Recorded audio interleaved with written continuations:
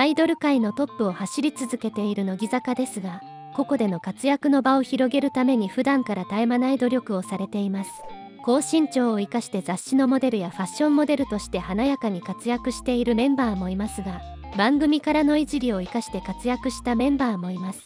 では今回は独自のキャラを生かした乃木坂メンバー5選を紹介していきます。また坂道グループが好きな方はぜひチャンネル登録をよろしくお願いします。まずは秋元真夏さんです。グループを引っ張る一方持ち前の笑顔と愛嬌で周囲を明るく照らす愛されキャラでもあるその親しみやすさからメンバーや共演者にいじられるのも代名詞となっている彼女。実は小学生時代からぶりっ子といじられていた。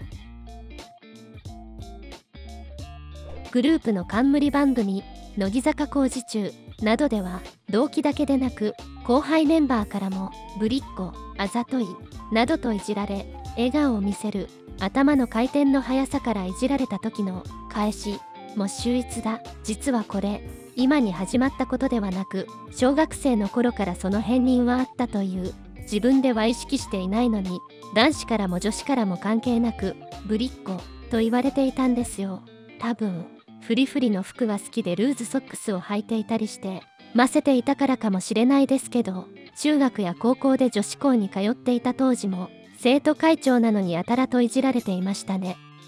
そんな風に誰とも臆せず付き合うタイプの秋元さんに対して握手会での対応などから彼女を人たらしと評価する声もある。そのことについて本人に尋ねると言われます。自分では全然と言いながらも話せない人はいない自信があるとの答えが返ってきた初対面で緊張していても相手からはよく緊張してないでしょうと言われます。握手会で初めて会うファンの方にもいじられるし自分でも平気なのが不思議なんですよね。テレビの印象のまま気さくに接してくれるのがありがたいしそれがあるからこそ握手会とかイベントまでの期間が相手も身近に感じてくれているのかなと思っています。番組ホームページで募集したファンの妄想シチュエーションをメンバーが実演するという番組名物企画をしました。その際に白石さんは同窓会で再会というシチュエーションで相手役に元彼女の秋元真夏さんの写真を出して全然可愛くないじゃん人を騙すような顔してると笑いを取った後なんでそんなこと言うのかってずっと好きだったんだもんと演技これに対し秋元さんはひどいこんなに可愛いのにと反論しスタジオのメンバーが爆笑したみんなからいじられてることに対してツッコミをするのは見てて面白かったですね。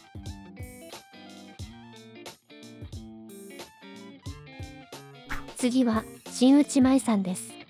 新内舞さんが2リットルの水を抱えている画像をカップスターのインスタグラムでアップしたところコメント欄に多くの水泥棒の声が寄せられています。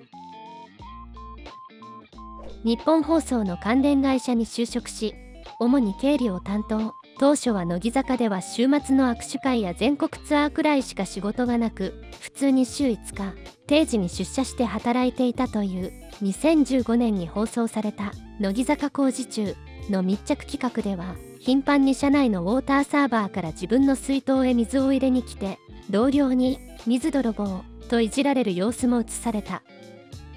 YouTube では卒業セレモニー直後新内舞があの人たちからプレゼントをいただいちゃいましたと動画が更新されバナナマンが新内さんに送った卒業祝いを公開した。動画には新内さんが登場し真っ白な水筒を披露水泥棒っていうキャラを乃木坂工事中で確立させていただいたので嬉しいなと思っていたんですけどと新内さんがウォーターサーバーの水を自身の水筒に汲んでいたことによる水泥棒キャラにちなんだものであることを紹介しました。乃木坂ファンの間では新内さんが水を抱えると必ず水泥棒と愛あるいじりをするのが定番となっており新内さんも分かっているからこそのドヤ顔だと思われます。新内舞さんがパーソナリティに就任した日本放送で世界の水問題を深掘りした教授との対談の中で教授はいたずらっぽくでも今は日本放送の水を盗んでいるとかと突然新内いじりを始めた。すると新内さんは大慌て。違うんです。語弊があります。と応じた。笑いながら。でもそうやって水をもらうことって良いことかもしれないですよ。その場その場で水を買わないで。みんなで水を共有するという仕組みが社会的にできればプラスチックごみも減らしていけるかもしれないですから。と続けた。新内さんはそうですよね。なので私も会社員として勤めている頃はマイボトルを持参していました。マイボトルを持っていればペットボトルを買おうとはならないですからね。そうしたことが普及していったら確かに良いですね。私結果的に良いことをしていたということですよね。特徴した。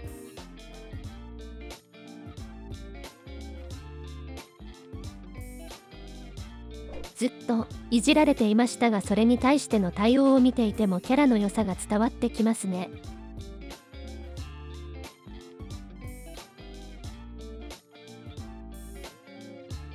次は斉藤楓さんです。2018年7月放送の乃木坂の冠番組「乃木坂工事中」では同じく3期生である梅澤美波さんが佐藤楓さんの棒読みをモノマネし爆笑をさらいました。乃木坂メンバーの細かいモノマネ大賞という企画が放送され乃木坂のメンバーが他のメンバーのモノマネを次々と披露します。そんな中梅澤美波さんは感情の起伏が平坦すぎて棒読みになってしまう佐藤楓と題し佐藤楓さんのモノマネをしました。まず相手役である山下美月さんが今日佐藤楓さんが好きな崎陽軒のシウマイ弁当だってと声をかけると梅沢さんはマジ？それうちめっちゃ好きと答えてコップを倒して水をこぼしてしまいます。すると梅沢さんはやらかした。やらかしたと佐藤楓さんの口調を真似しながらコメント。このモノマネはかなり好評だったようで特に3期生は大爆笑していました。他にも駅伝の解説やラジオ番組もこなす佐藤楓さんですが実は喋り方が棒読みになってしまうという独特な性格を持っています。過去には自分で棒読みが治ってきて自分のキャラクターが薄くなってしまう心配をしていた佐藤楓さんに対して周囲のメンバーが全然治ってないと突っ込むということもありました。あまりに棒読みなため声だけで出演するラジオ番組のパーソナリティを担当する情報はファンの間では何かの冗談ではないのかと言われたほどでした。ですが今ではしっかりとラジオ番組のパーソナリティもこなし乃木坂の活動の場を広げるきっかけにもなっています。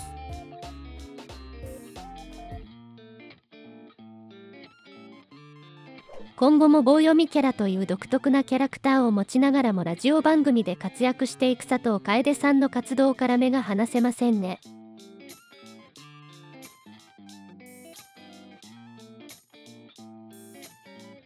最後は黒見遥さんです。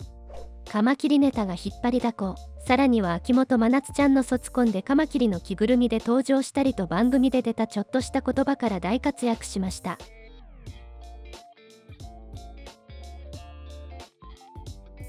黒見遥さんの B 級ニュースで大学内のアイドルサークルに勧誘されそれを同期松尾美優さんに伝えたらセンターで踊ってきなよと後押しされたというエピソードでまず人笑いを起こした黒見さん。さらに畳みかけるようにもう一個ちょっとやばいことがありまして学生証の写真がやばくなってしまったんですよと言って画面に映し出されたのはどういうわけか顔の上半分がやたら強調された不自然な証明写真。これには MC のバナナマンもやべえよ気持ち悪い怖いよカマキリじゃんかこんなのと言いたい放題でひな壇に座っていたメンバーたちも大爆笑でした。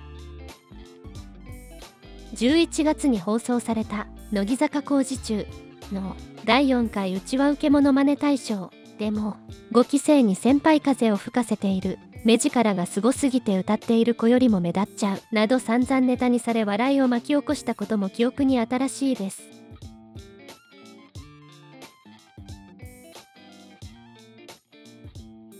黒見さんのカマキリはよくネタにされていて笑いに変えていてみんなから愛されています。